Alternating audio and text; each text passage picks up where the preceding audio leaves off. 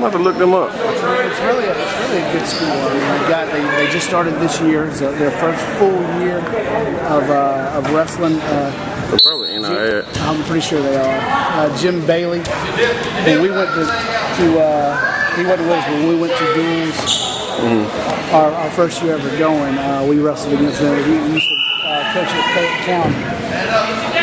They ended up beating us uh, by I think 15. That ain't bad. That ain't bad.